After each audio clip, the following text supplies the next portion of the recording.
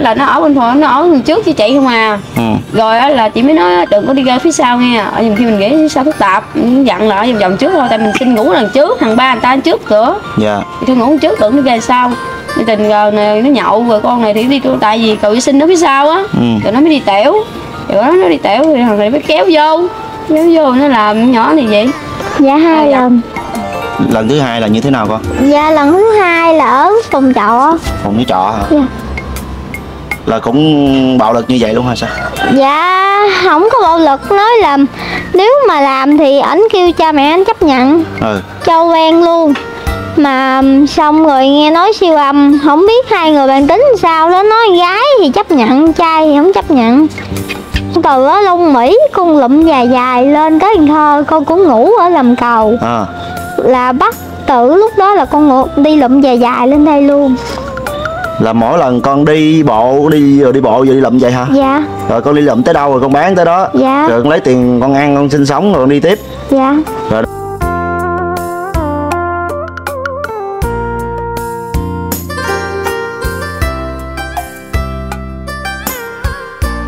May nghĩ một bé gái 15 tuổi là buôn mang dạ chữa hơn 8 tháng. Trước mặt quý vị là chị Hiền và bé Giàu được biết cái câu chuyện là hai mẹ con là rất là khó khăn và phải sống lưu lạc ở nhiều nơi. Thì ờ, trước đây thì được ờ, cứ ngỡ là được một cái người tốt bụng cho ở đậu nhưng mà không ngờ cái người kia là với cái mục đích xấu là dở cho ờ, đòi bại đối với bé gái. Thành thử ra bé mang thai tới giờ ờ, trong cái độ tuổi còn rất là nhỏ.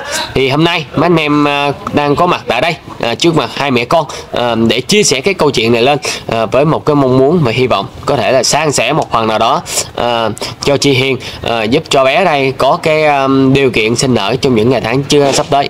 Dạ trước tiên thì em chào chị ha. Ừ. dạ thì ờ, nói chung này ờ, bé này là con chị là năm nay là mới 15 tuổi hả chị? Dạ. Dạ, ờ, trước đây là chị sống ờ, chị từng sống ở nơi nào mà tại sao để cái sự việc nó ra như vậy? tại vì chị là chị trai chị, chị, chỗ nào có thì chị đi tại vì chị đi ra năm 10 bữa chị về chỗ khác rồi mấy con gà chị ở gầm cầu rồi nghe con chị hôm nay nó bị như vậy rồi chị về quay đầu về Chị sống gầm cầu nữa hả? dạ.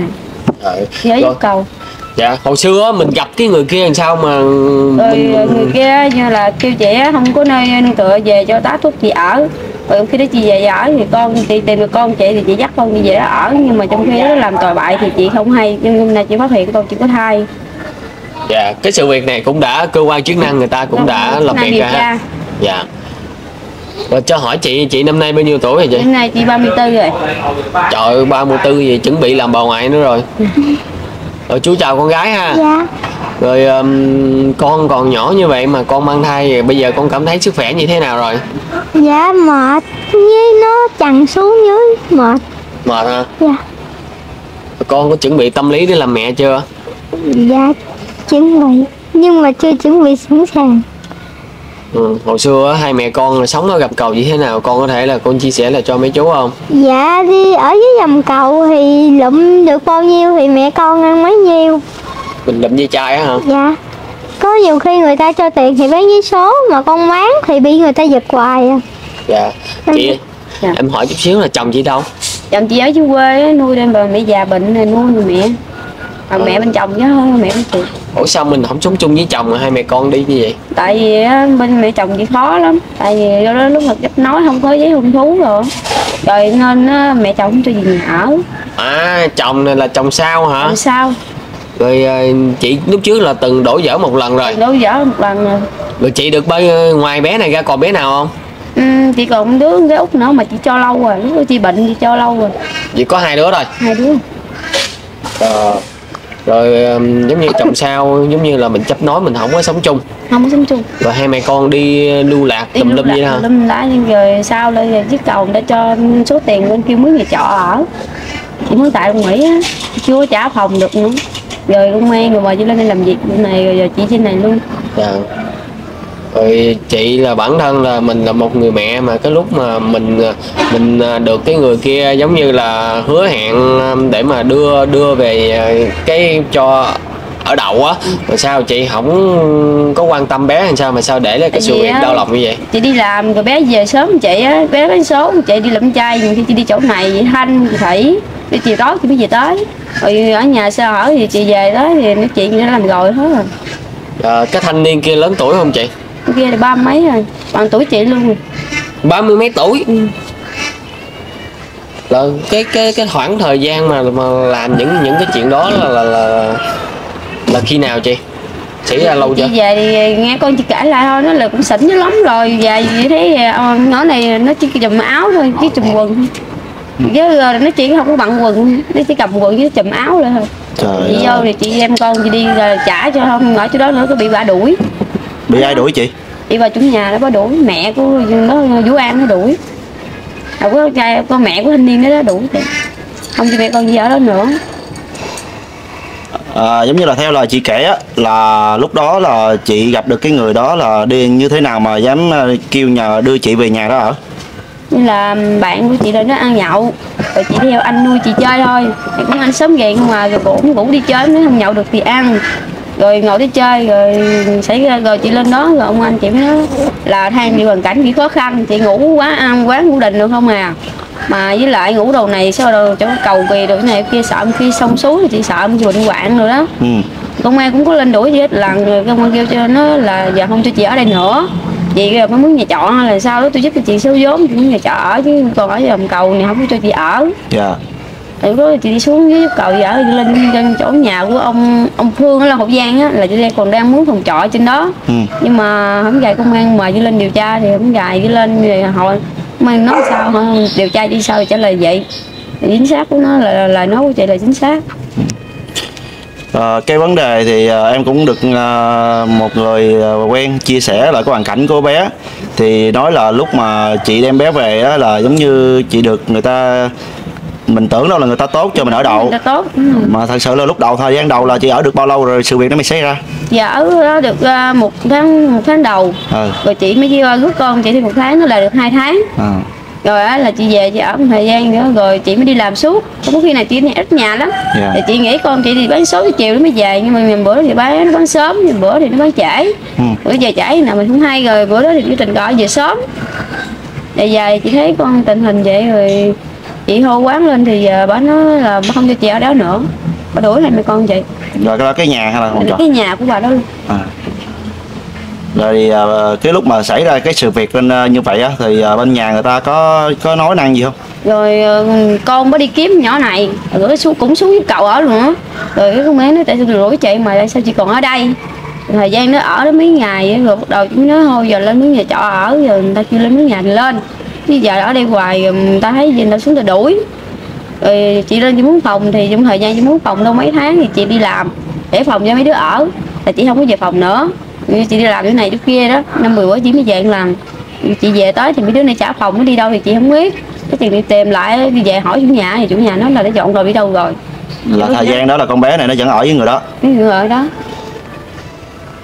Ủa vậy là người ta mới lúc đầu người ta cũng chịu trách nhiệm bào thai hả chị? không lúc đầu thì chỉ có thằng con ba triệu thôi còn bà thì bà không chịu Ờ. à, rồi sau đó là con bà mới theo bà nói con bây giờ nếu con gái thì bà nhận còn nếu con trai là bà được bà tống cổ ra ngoài không cho vô nhà Ừ, Không con cho gái thì nhà nhận luôn.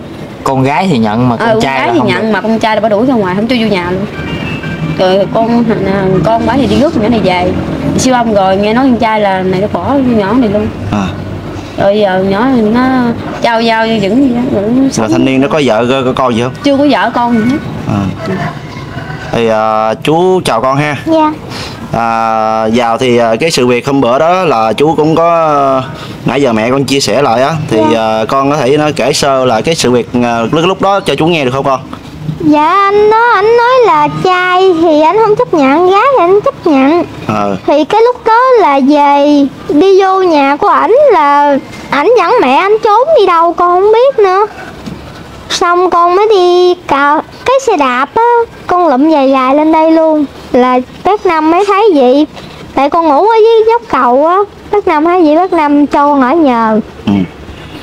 Và con cái khi mà xảy ra sự việc xong rồi á là Dạ. con biết con mang thai là lúc đó con à, mang biết mang thai mấy tháng? Dạ 6 tháng rồi chú. 6 tháng mà con vẫn còn phải đi nhặt ve chai để Dạ. kiếm tiền. Dạ. Tại vì không có ai nuôi hết. Tại vì mẹ thì cũng đi Đi đâu không biết. Còn anh đó thì anh cũng bỏ luôn. Là lúc mẹ đi đó là không không có số điện thoại để gọi Dạ không có số liên lạc tới luôn. À, không có điện thoại để gọi. Dạ ờ, khi mà cái lúc mà thời điểm mà mẹ con nãy mẹ con kể á dạ. là nói là sau khi mà hành sự xong rồi đó dạ. thì người đó với con cũng có ở thời nhà trọ chung thời gian hả? Dạ ở chung một thời gian sau cái ảnh nói là gái anh chấp nhận trai anh không chấp nhận nên ảnh bỏ đi hồi nào con không hay luôn. Mà cái lúc trong thời gian đó là người ta có thương yêu gì con không? Dạ không.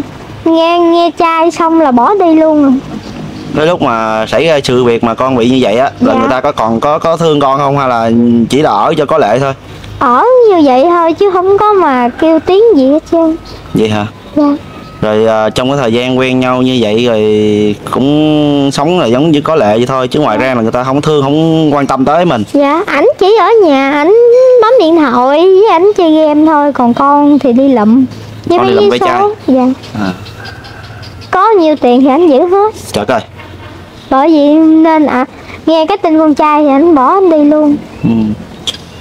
rồi cái lúc mà sự việc như vậy là bên mẹ của người đó là không chấp nhận con? Dạ hai người hai người thông đồng với nhau là đi hồi nào con cũng hay luôn.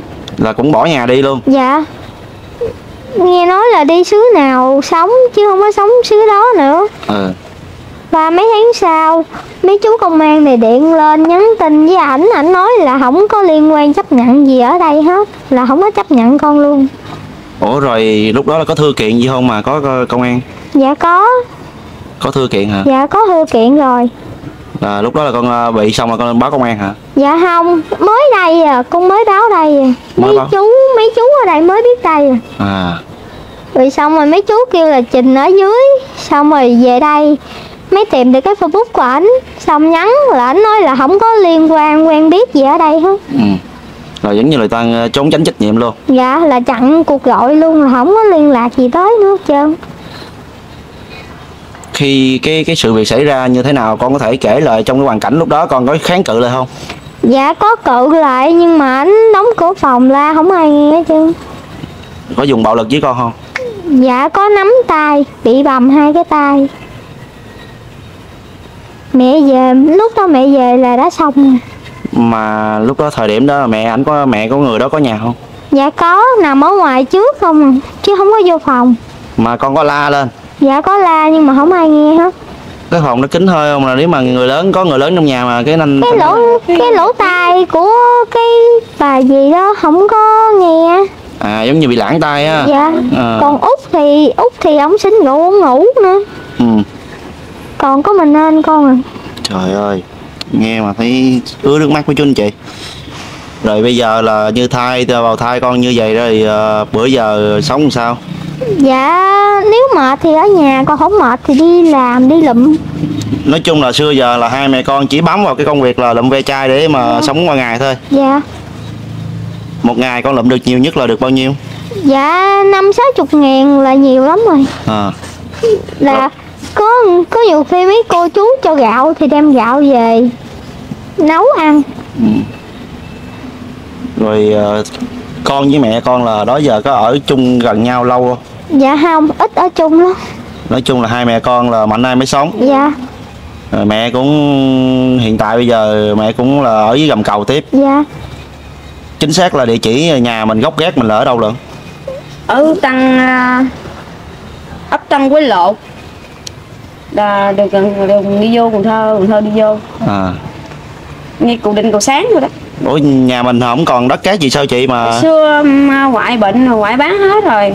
Rồi mẹ đồ cũng lưu lạc đi ghe đi cỡ đi bộ đi ghe xong rồi nè.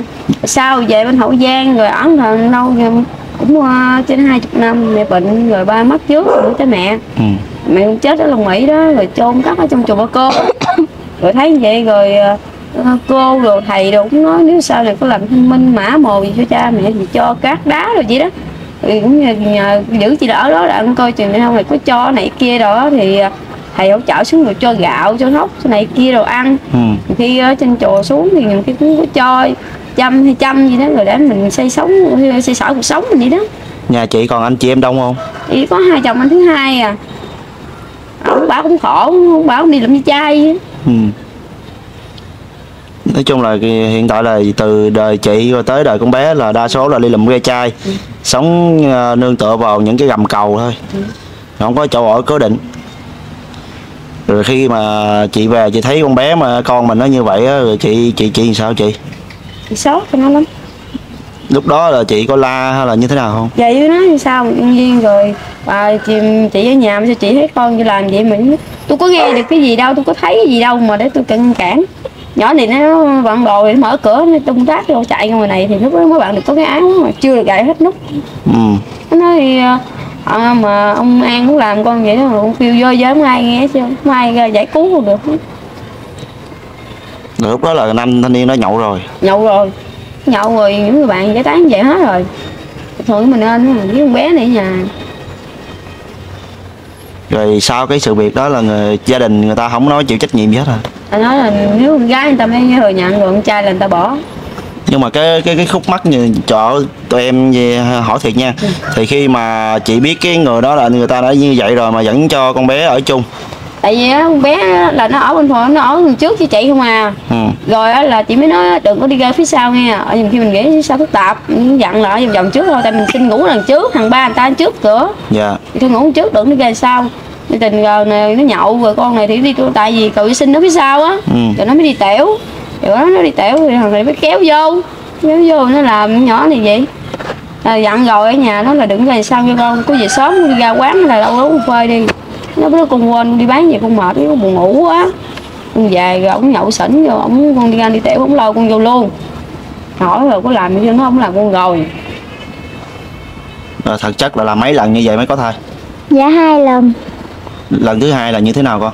Dạ lần thứ hai là ở phòng trọ. Phòng cái trọ hả? Dạ. Là cũng bạo lực như vậy luôn hả sao?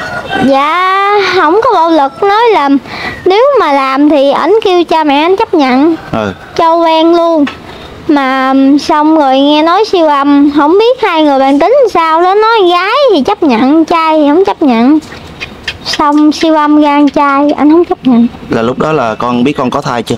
Dạ biết rồi là hai người ở phòng trọ mà làm hai lần. Dạ. Là lúc đó là ờ, lần đầu là đã có thai rồi hả? Dạ lần đầu chưa. Lần thứ hai mới có. À rồi lúc mà con mới biết con có thai là lúc đó là một thai đã 6 tháng rồi. Dạ. Trời ơi. Rồi hiện tại giờ chú hỏi thì giờ nếu mà con ở bên phía bên đây á, là con ở cũng ở đậu người ta nữa. Dạ ở đâu nhờ ông chú ông tốt bụng mới cho ở nhờ đúng không? Dạ rồi sao mà chú này chú mới gặp được con mà đem con con về đây dạ con đi lụm dài dài lên đây rồi ông chú thấy con ngủ ở dưới góc cầu á. Trời. Rồi ông chú mới kêu nói chuyện người ở trong nhà xong rồi mới cho con về. Ở luôn. Rồi từ nhỏ lớn chú hỏi thì từ nhỏ lớn con có đi học không? Dạ không. Không biết chữ hả? Dạ. Rồi đó giờ chỉ là theo nghề mẹ là đi lụm ve chai sống gầm Dạ. cầu vậy thôi. Dạ trời ơi sao mà cái số phận sao mà nó, nó éo le quá trời éo le không biết. Hình như nãy con có nói á là cái lúc mà con mang thai á là con con vẫn phải đi lụm da chai. Dạ. Nhưng mà cái thanh niên kia là không có làm không đi dạ. làm gì hết. không có làm gì chỉ hết ở nhà thôi. Suốt ngày ở nhà bấm điện thoại với giữ tiền của con. Rồi à, gạo là thường thì người khác cho còn Dạ. đồ ăn á, thì con con lụm con đi mua hay sao? Dạ người ta cho. À đồ ăn cũng cho rồi Dạ. xong con đem về con làm. Dạ rồi chị chỉ có ở nhà là bấm điện thoại thôi. Dạ. Kêu làm đồ nặng con cũng vẫn làm luôn. Ảnh không có làm tiếp. Sao một người đàn ông mà cái này là tính ra là không phải một người đàn ông rồi. Tại vì người ta không có thương đúng không? Dạ. Rồi cái lần thứ hai sinh con lần thứ hai là cái lúc đó là con tự nguyện. Dạ. Cũng có có nói là con mẹ không có cho đâu. Xong anh nói là cha mẹ chấp nhận cho hai đứa xong rồi con mới tự nguyện. Ừ. à tức là lần sau là con nghe cái lời ngon tiếng ngọt đó đúng không? Dạ. Rồi cho chú hỏi nè. Dạ. Ờ, khi mà đến lần đầu á dạ. lần à, người ta làm việc đó với con á dạ. rồi sau sau đó là người ta có tỏ ra cái, cái thái độ gì với con không? Dạ cũng lúc đó anh đó anh xỉn rồi ảnh bấu hai cái tay ảnh lôi vô.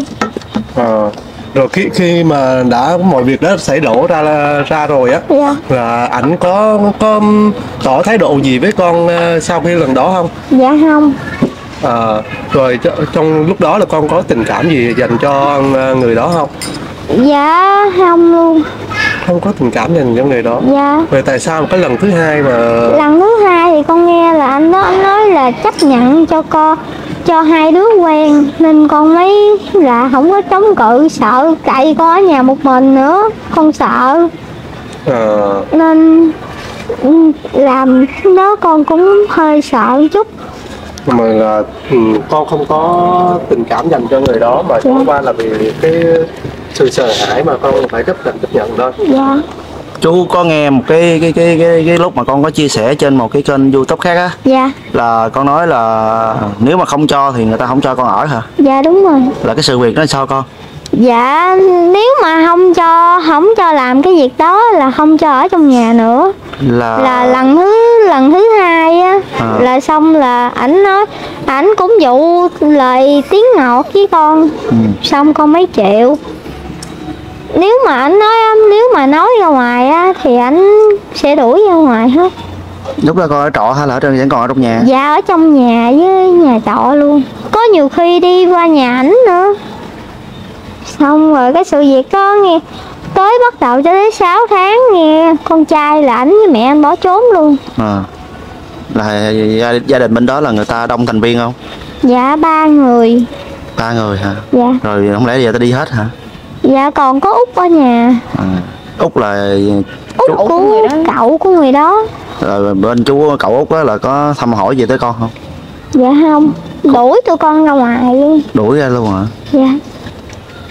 Chị ơi cho em hỏi chứ lúc mà khi mà chị quen được cái nam thanh niên đó đó người ta có nói gì với chị nhiều không đó là trời thấy gì tội nghiệp. Ôi ờ, gì cái bệnh gì không à. Ừ. tại vì về về ở nhà con đi. Rồi ờ, có tại vì bên đó người ta bán ba cái đồ um, ốc quá xanh á tôi bỏ rau rồi thịt cá rồi đó. Ừ. tối ngày nào chị cũng đi lụm về lụm chai rồi lụm gơ cái đó về chị nấu để ăn á. Rồi nên mới thấy vậy mới nói ờ, thôi ở đây đi. Ờ, có cá thì ăn cá có mắm ăn mắm. Thì thôi ở đậu đi rồi ờ, nữa bữa ai sẽ cho gạo rồi đi xin gạo gì để nấu ăn chung rồi á, coi như là người một nhà. Nhưng mà mình đâu nghĩ là người ta nói vậy là người ta ấy mình đâu. Cái chừng đem đồ gạo thóc mì đồ này kia về ai cho gì là đem về hết trơn nhà luôn không có đem đâu mà cho ai á. Ừ. về cho ăn đâu mấy tháng trời họ họ vui thì đỡ lắm họ buồn cái họ nói mai mốt vậy gán ăn bữa hai bữa người ta đuổi ra đường. Mà nhà mà nói giàu có gì không chị? Nghèo lắm không có cái gì để mà nó kha để thấy cho không có cái gì cái gì để quý giá. nữa gạo thì chị kiếm về nè, đồ ăn chị kiếm về, chỉ có mấy thứ đó là đồ của chị đem về là mấy quý giá thôi, gạo thóc đồ ăn thôi. Chứ ngày nào nào chị không đem ba đồ ăn về là họ đói. Họ mới nói là, trời không dài ờ, thấy bà đi bà có đem những bà đi lụm này lụm kia về nó cho bà này kia ăn. Rồi cũng thấy tội nghiệp bà. Thì có ăn á thì họ nói là tốt cho mình. Còn như không có ăn á thì họ nói mẹ có, chắc cho thiên hạ ra, người khác ngoài đường ăn cái dễ gì cho mình thì tôi nói trời ơi tôi có cũng đem gì để ăn thì ở đây thì phải đem gì để ăn chứ còn phải ở chỗ khác đâu mà đem gì chỗ khác. Mà nói vậy. Tụi mẹ nói họ đuổi bây giờ. Rồi mà cho em hỏi là sao cái cái lúc mà ở đậu trên đất đó là ở chung nhà hay là ở ở cất cái chòi riêng nhà. Chung cái nhà ở luôn chung cái nhà. Nhưng mà chị là ở phía trước tại vì ở ngoài đường chạy ngang là thấy cái, cái băng đá trước là chị với con đằng trước chạy chiếu trong mùng ngủ đằng trước. À, giống như ngủ hàng hàng ba ba ha. đó chỉ có trời mưa là mình nhóm xích vô trong chút cho thôi. Chứ cũng không có được đi vô nhà người ta nữa. Ừ. rồi nhà người ta thì người ta nhà người ta mà tao muốn làm người ta làm tao muốn cho cái, cái kiểu đó là giống như là chị chị mượn tạm cái hàng ba chị ở ờ, tạm che nắng che mưa thôi. Ờ che nắng che mưa thôi. Chứ ngoài ra là chị không được vô trong nhà luôn. Không được vô nhà luôn. À. rồi thời điểm đó là về bên đó ở là lúc đầu chị ở một mình thì không có chuyện xảy ra hết. Lúc đó chị ở một mình không có chuyện gì xảy ra hết. Rồi từ lúc mà con bé này ờ, nó đi đâu rồi chị kêu nó về? Con bé này nó ở bên ông già ruột nó. Nó nó về hồi kỷ thị 16 đó. Là bệnh là dịch bệnh đó kỷ thị 16 á. Rồi nó về rồi nó nó, nó mới không dám về bên ba nó. Rồi sau rồi nó, nó nói thôi giờ bệnh mà không về bên ba rồi ai nuôi bây giờ nó mới đi nó mới về tổng mà lúc đó nó về chị không có hay. Nhưng mà gặp gì nó nói là gặp con dạo nó về trong mà cha ruột nó ở tổng á chị có thấy không? Đây chị, chị dâu mà. Chị nói gì mấy gì không về chị đâu có hay đâu chị về đi chị ở giúp cầu sao chị không hay vợ gì đây? Phải vậy kêu hai mẹ con đi ở cho nó hữu hỉ rồi vui. Chứ ở chồng à, ổng cũng cha nó đâu biết ai tốt hay xấu. Thật cái nói đưa nó về ngoài này. Rồi nó nói thôi về cho ổn định rồi mình cho con mình nó lên ở mình chắc nghĩ người ta lớn người ta đâu có làm ăn vậy. Ừ. ai rồi thì xảy ra sự việc đó thì giờ mới cái sự việc đó nó mới lớn. Rồi hiện tại giờ cha ruột bé biết chuyện chưa? Chưa. Chưa luôn hả? Chưa. Rồi à, bé này chuẩn bị sanh sanh đẻ tới nơi chị có gì chuẩn bị cho chị? Chị thì ờ, con chị sanh thì chị phụ họ tiếp nuôi đẻ con chị. Rồi ra tò rồi xong thì chị xong rồi chị về cũng muốn cầu chị ở với lụm với trai bình thường nhé là hiện tại giờ chị ở gầm cầu một mình nữa. Không chị ở nhà đậu lên đây ở với con bé này. Không mà khi xong bé xong rồi chị về chị cũng vẫn ở dưới đó tại vì nữa người ta cho mã ba chị rồi mã đá rồi làm này kia đó chị phải về dưới đó. Là ở dưới đó không có đất? Không có đó không có nhà luôn? Đỡ con cái là công an cho chị mới muốn cho chị cái phòng trọ đó là chỗ đó đó vì nếu sao chị có về đó ở thì chị về ngay nhà trọ của chị. Vậy còn bé này là ở trên đây với ờ, bé này thì ở nhà với ờ, mà được, được, được cô mang hết. Rồi cho chú hỏi nè. Con cũng gần tới ngày sanh rồi con có chuẩn bị gì cho mình cái hành trang gì cho mình để mình chuẩn bị tới ngày sinh? Dạ cô chú cũng có lên coi Cô chú cũng có cho đồ quần áo em bé. Với cho tiền ăn bổ dưỡng rồi giống con đã chuẩn bị tinh thần để mà đón cháu ra chào đời chưa? Để à, học đã học biết được cái gì về để Dạ chưa có học biết được cho- gì chưa? Chưa luôn hả? Dạ có mẹ lên mẹ chăm tiếp Thì hơi biết chút. Thực sự cháu còn quá nhỏ cái tuổi này là cái tuổi của cháu là còn đang là cái tuổi ăn tuổi học và bây giờ phải chuẩn bị để làm một người mẹ giờ giờ con thấy sức khỏe con sao con? Dạ con đi khám thì bác sĩ nói là con bị thiếu canxi. Thiếu canxi hả? Dạ. Là hiện tại là cứ mỗi lần là nó cứ lên cân mệt nhiều hoài hả? Dạ.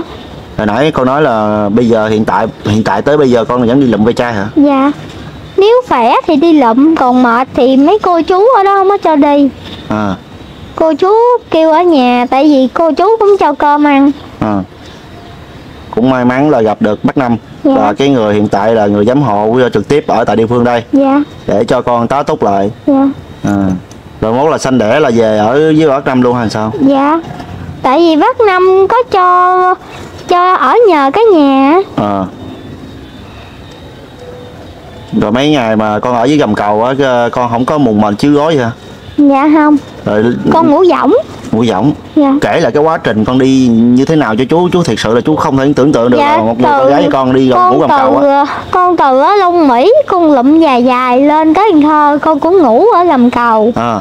Là bắt tử lúc đó là con ngủ, đi lụm dài dài lên đây luôn là mỗi lần con đi bộ đi rồi đi bộ rồi đi lụm vậy hả? Dạ. Rồi con đi lụm tới đâu rồi con bán tới đó? Dạ. rồi con lấy tiền con ăn con sinh sống rồi con đi tiếp. Dạ. Rồi nói chung là con đi hình như là đi liên tỉnh luôn. Dạ. Đi cái tỉnh nào con cũng đi hết trơn. Vậy chú hỏi đó giờ con đi được mấy tỉnh rồi? Dạ Cần Thơ Vị Thanh Vĩnh Long rồi Bạc Liêu. Trời ơi sống kiểu lan bạc nữa ha. Dạ rồi thành phố thành phố là cái đợt đó con đi làm rau ở trển á con bị ép không ở trển nên con không dám đi nữa. Ép công là sao con? Bị ép không á bị covid á. À ép không á hả? Dạ. Trời ơi nghe chú nghe tưởng đâu ép ép công tưởng đâu ép công làm. Là ờ, khi mà lên trên đó lên trên thành phố là con làm việc gì trên đó?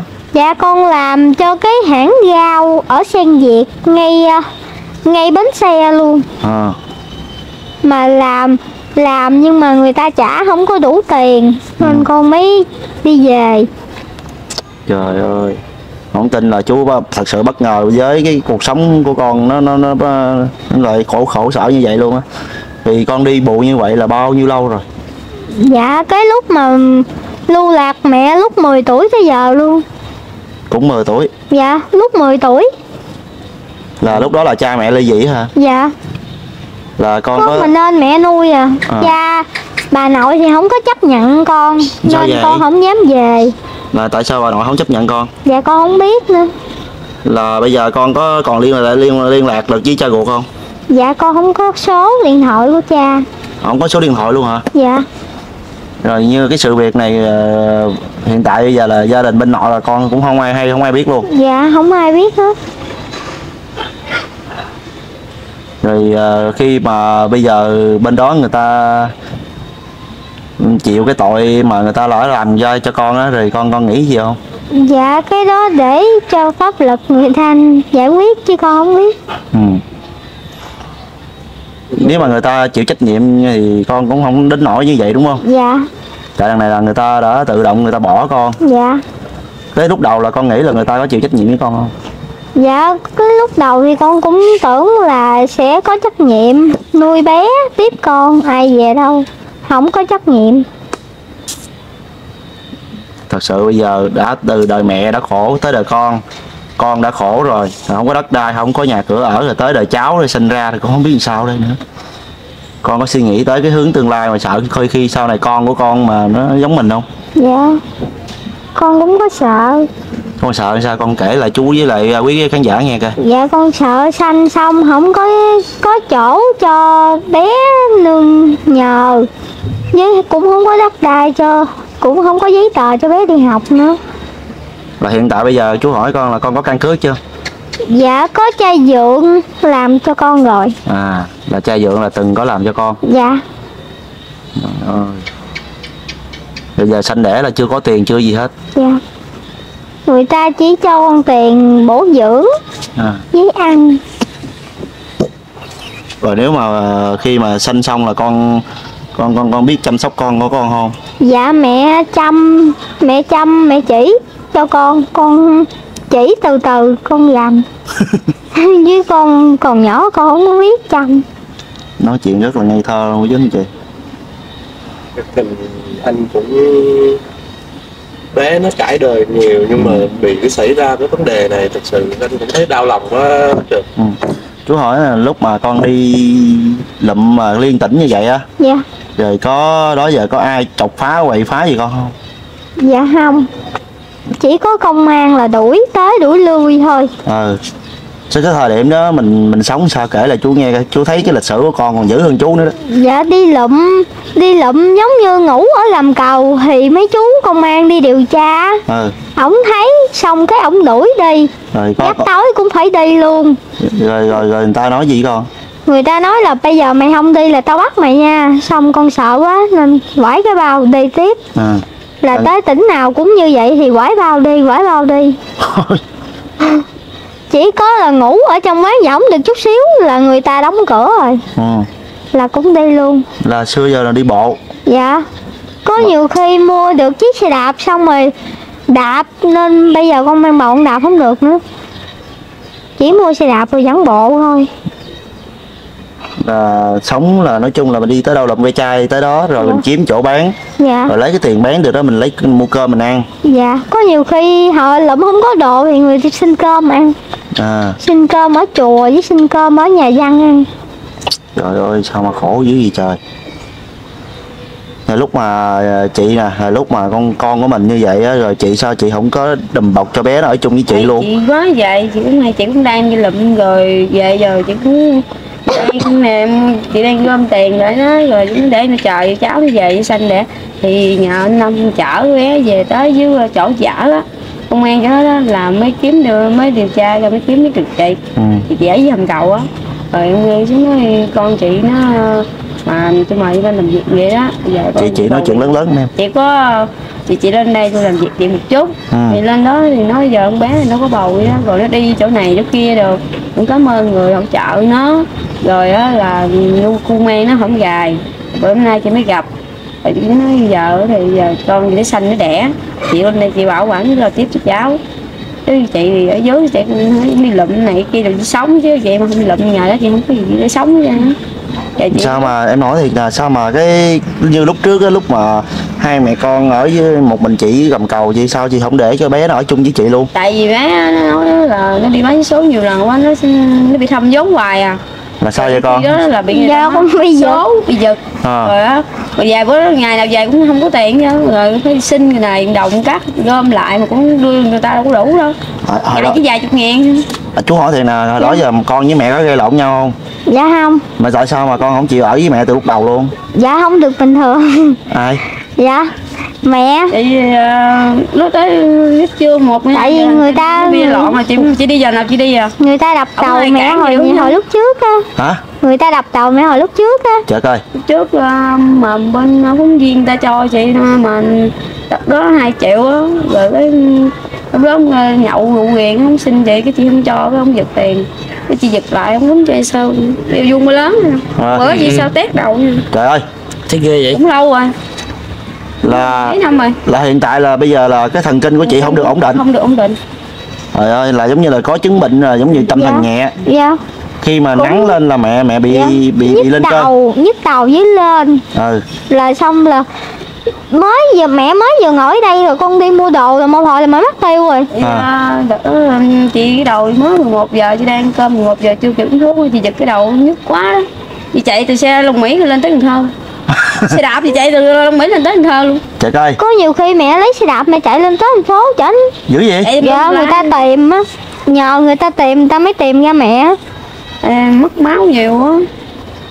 Trời ơi không kể cũng không biết luôn hoàn cảnh éo le dữ gì trời.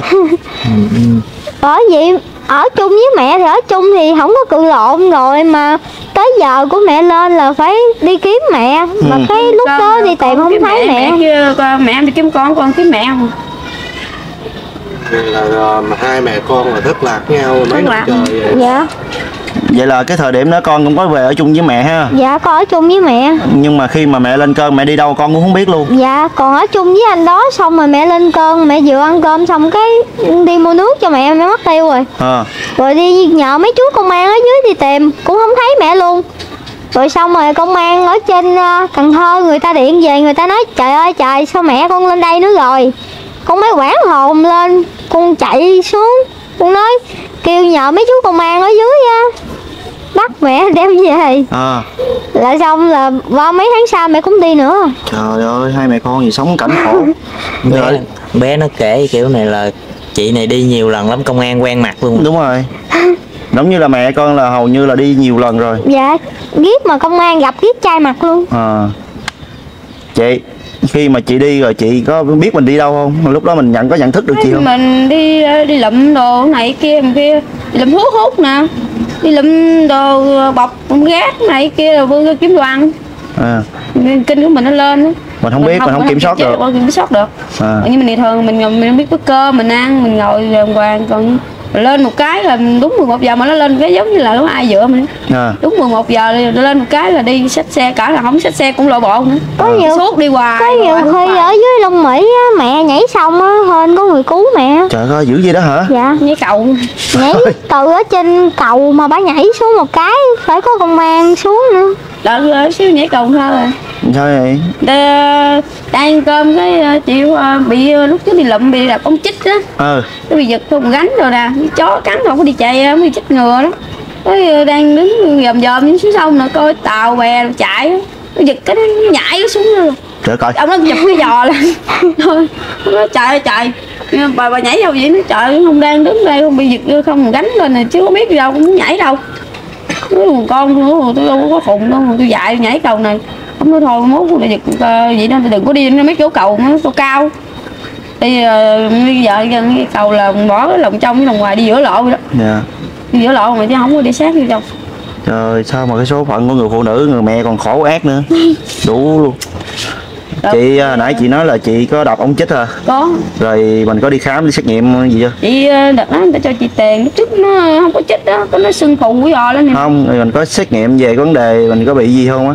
Có lâu lâu rồi chị cũng đi chưa mà kêu là đi ờ, chích ngừa chích gì á. Không phải đọc Rồi ống chích là ống chích bệnh gì xã hội á chị. bị sợ bệnh cái đó là sợ bị bệnh ép bệnh này kia nọ tùm lum la chị đi khám cũng có là lúc mà chị đạp đó rồi đó người ta thấy gì nó rút kim ra rồi lúc nó gãy kim luôn. Trời coi người ta đi mổ luôn. À. mổ người ta lấy kim ra là người ta cho chị tiền đi ờ, mà chích ngừa rồi ngày nào Xét đi nghiệm. chích, ờ, xét nghiệm máu rồi lại. Rồi có bị Xong rồi chị xét nghiệm ờ, một tuần đó hết tuần đó tuần sau đi tiếp tiếp. Rồi, rồi người ta có báo là mình bị ép bị gì không? Không ý nó là chỉ chỉ đạp nhẹ ngoài da thôi.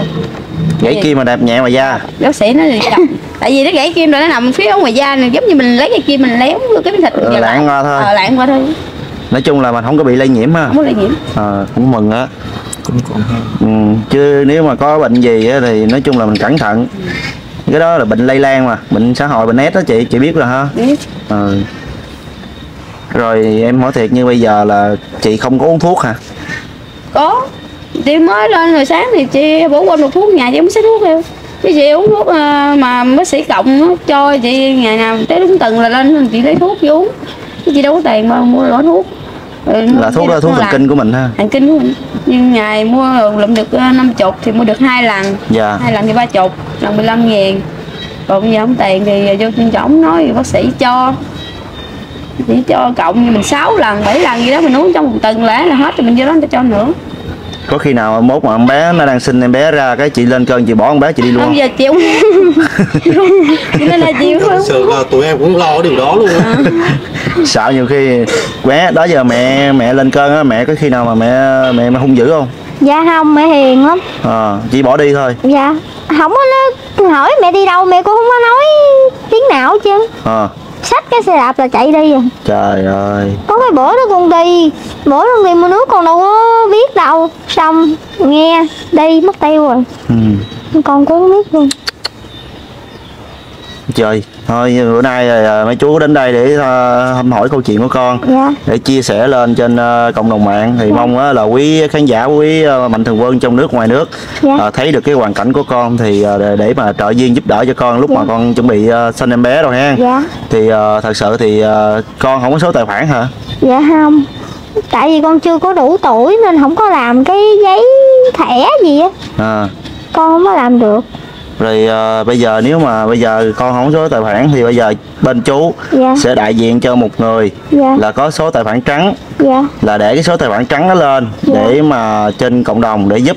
Dạ. giống như là cái số tài khoản đó là để chỉ nhận tiền riêng một hoàn cảnh của con thôi. Dạ. ha là cái số tài khoản trắng là trong tài khoản là không đồng. Dạ. Thì khi mà để số tài khoản nó lên thì mọi người chuyển vào trong đó đó. Dạ. Thì khi nào mà mấy chú mà tới lúc mà con sanh đẻ Dạ. là giống như là để đó thì khi nào mà ờ, mấy chú cảm thấy là đủ. Dạ. Nha. Dạ. cảm thấy đủ với cái cái cái cái, cái lúc mà con ờ, có kinh phí để mà lo cho con cái lúc mà con sinh đẻ. Dạ. thì tụi chú sẽ tháo cái số tài khoản đó xuống dạ. và cầm cái số tài khoản đó ra ngân hàng. Dạ. à, có sao kê ngân hàng. Dạ. À, giống như là cái tài khoản đó để dành riêng cho một hoàn cảnh của con thôi. Dạ. Đó là mấy chú sẽ để cái số tài khoản đó lên. Dạ. con đồng ý không? Dạ đồng ý. Thì ờ, cũng kính thưa quý cô chú anh chị thì hiện tại là mấy anh em quay cái video này là chỉ mục đích là giúp đỡ cho bé giàu để có một ít kinh phí để bé nó sinh đẻ. Tại thấy hoàn cảnh nó bé rất là tội không có kêu gọi từ thiện hoặc là cũng không có gọi là trục lợi cá nhân trong cái video này nha, quý cô chú anh chị nha. Tại vì mình thấy hoàn cảnh của em nó rất là đáng thương. Vì một bé gái mới có 15 tuổi mà bị kẻ xấu lợi dụng, rồi dẫn đến mang thai. Anh em thấy quá khổ nên liên hệ với người nhà để xin phép đến đây quay một cái video chia sẻ câu chuyện này lên nhằm mục đích là giống như giúp đỡ cho bé. Ai cho được cái gì thì bé nhận cái đó. Và cái thứ hai nữa là cũng để cho mọi người cảnh báo đến mọi người nhà có con em đặc biệt là bé gái thì nên hãy ờ, cẩn thận hơn. Trong cái việc mà cái chuyện xã hội hiện tại bây giờ rất phức tạp cái chuyện gì nó cũng có thể xảy ra gia đình á, thì mới đầu nghĩ là đây là cũng gặp được một ân nhân đúng không chị? Mới đầu mình nghĩ là người ta rất là tốt. mình nghĩ người ta là ân nhân để mà cho mình có chỗ nương tựa để mình sinh sống. Nhưng mà không ngờ á, thì người đó lại là mang một cái lòng dạ xấu tính như vậy. Thì lúc đầu chị gặp người đó người ta hiền không? Nói chuyện được lắm. Ừ. rồi tới giờ lúc mà tỉnh ngày không nhậu nói chuyện được lắm tới chuyện xỉn rồi đụng má được mẹ em lắm nha. Ừ. Đó, thì ờ, thật sự thì ờ, ngày hôm nay mấy anh em ờ, của trường và anh em tâm ròm rồi xuống đây để quay và chia sẻ hoàn cảnh này lên. Mong quý cô bác hãy thương yêu bé giàu thì hãy trợ duyên để giúp đỡ cho bé để bé có một ít kinh phí nào đó chuẩn bị trong tương lai thì chấp vài ngày nữa thôi là bé cũng hạ sinh em bé rồi. Thì mong là bé được sự giúp đỡ từ quý cô chú anh chị mình được ừ, cho mẹ tròn con vuông để cho bé nó có thể chăm sóc ừ, cho bé nó tốt nhất. Rồi anh em có hỏi gì nữa không? À, giờ à, cũng qua cái video này á thì con cũng à, có cái lời nào gửi đến à, quý ông bà cô chú à, trên à, kênh của mấy chú không? dạ con cảm ơn cô chú đã giúp cho con có tiền lo cho bé. Bây giờ chú hỏi con thiệt nè hiện tại là con đang suy nghĩ chuyện gì bây giờ? Dạ. Con có lo lắng điều gì không có lâu lo chuyện gì kể chú nghe coi. Lo sợ là không không biết đường chăm em bé làm sao á. Ừ. mà mẹ thì bá cũng tới cơn thì bá cũng đi hoài à. Cũng không biết làm sao nữa. Đúng là cái điều đó ai cũng sợ. ai cũng sợ. Ai cũng lo cho con cái điều đó đó. dạ. Rồi ờ, ừm, chú cũng biết được là con cũng vừa mới làm việc với cơ quan chức năng. Dạ. Là để ờ, về xử lý về cái cái chàng thanh niên đó. Dạ. Thì thật sự là trong thâm tâm của con hiện tại bây giờ là con có có nghĩ cái điều gì không? Dạ mấy chú Mấy cô với mấy chú kêu là đừng có suy nghĩ quá nhiều Ảnh hưởng cho bé. Ừ. Nên con cũng bớt suy nghĩ lại. Rồi lúc trước là con suy nghĩ chuyện gì? Dạ cầu kiếm được mẹ Cho mẹ lên đây lo cho con còn cái nam thanh niên đó là sao? Dạ để pháp luật người ta giải quyết. Ừ.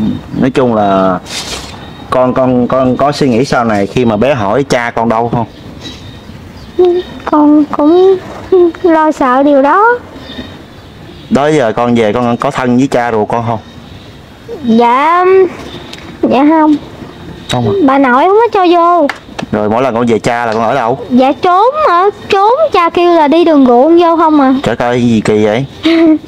Con đi đường ruộng Có nhiều khi cha bơi ghe ra cha đón con vô Chứ cha con con ở đâu lận? Dạ ở Long Mỹ. Đông Mỹ Hậu Hậu Giang hả? Dạ. Là ủa sao mà xưa giờ là bà nội bé không thích là không thích bé? Dạ không thích chị luôn. À. Tại vì không Tại phải là nội có ruột. bầu con bé này nè. Là có bầu ngoại muốn. Ừ rồi à, chị ổng quen thời gian rồi có bầu con bé này. Bả nói là à, nếu là con trai bả không cho vô phòng trong nhà bả Là- nữa hả? Trời chị đẻ nhỏ này là con gái bả bả không cho chị vô nhà bả đuổi luôn thế giờ. Vì sao hai mẹ con có một hoàn cảnh dữ vậy trời? Là chị là bên mẹ chồng á thì nói là nếu con trai mới cho Ừ. vô nhà đúng rồi. con gái là bỏ đi. Ừ. Rồi tới con bé này á là con gái á người ta nhận mà Dạ. con trai người ta đuổi đi. Dạ. Gì mà hai hoàn cảnh mẹ lập lại con lập lại của mẹ vậy trời vết xe đổ lập lập tới lập lui vậy hả? Về Có. xưa người ta trọng chuyện hy hữu dữ hả? Người ta trọng trai hơn. Hả? Hồi xưa người ta trọng trai hơn. À. tao muốn kiếm cháu à, trai đừng nói dỗi tông đường. À. gì đâu phải như là hồi xưa của ông bà ta để lại nữa. Mà bây giờ tới ngược lại là bé thì con gái người ta nhận còn con trai người ta đuổi. Dạ trời đất ơi. Anh đó anh nói là con gái thì à, mai mốt gả thì tiền thì có nhiều hơn trai Trai Vậy? quậy lắm. Dữ vậy đó hả? Dạ. Tính tới đường đó luôn. Tính, tính xa dữ trời ơi thiệt tình luôn. Thật sự. Thôi thì à, ngày hôm nay à, chú tới đây chú không có gì hơn thì chú gửi con một ít à, từ tấm lòng của chú nha. Dạ. Để con à, mua được cái gì con mua. Dạ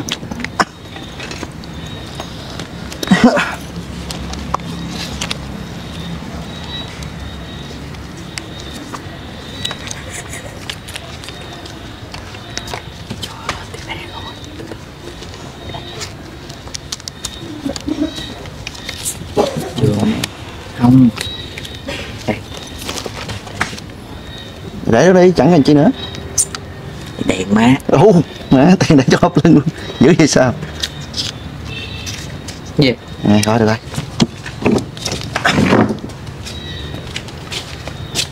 thì à, thôi thì à, bữa nay thì à, mấy chú à, biết hoàn cảnh của con. Thì nói chung là cái này là tấm lòng của mấy chú ha. Dạ. thì à, trước mắt thì mấy chú à, gửi từ trích từ tấm lòng của mấy chú. Dạ.